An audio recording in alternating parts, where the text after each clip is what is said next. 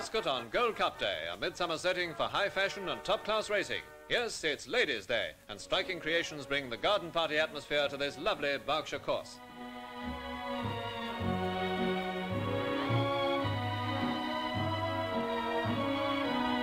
And again, the Queen and Prince Philip acknowledge the cheers as they make the traditional drive down the course.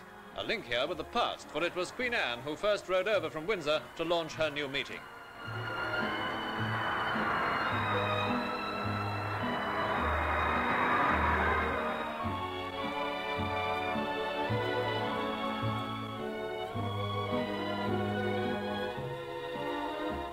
And for over two centuries, the new season's fashions have graced the well-kept lawns, adding feminine charm to the sport of kings.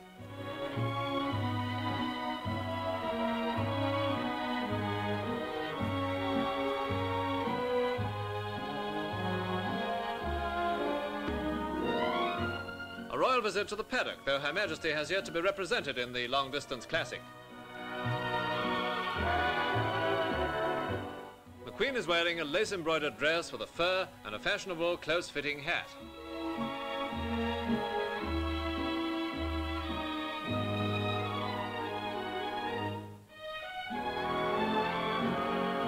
Princess Margaret has a white shantung dress with a little cap of pink rose petals and a veil. Princess Alexandra of Kent is with the royal party as they leave the paddock and mingle with a vast crowd. Royalty enjoying a day at the races.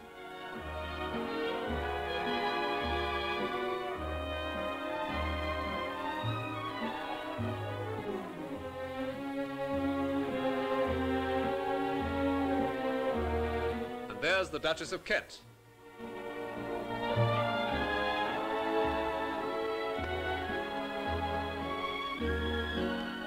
Now the 11 thoroughbreds parade for the Gold Cup, and we take another look at fashions with the focus this time on hats.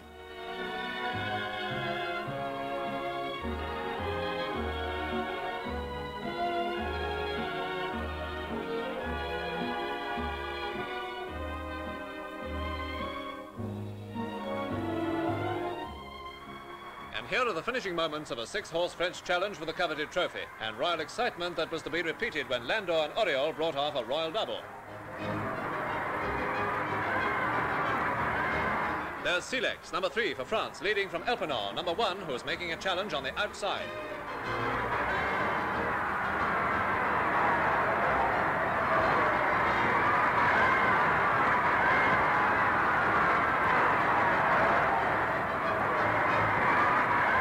Side by side, they battle it out down the straight. Two gallant stayers sharing a photo finish for France.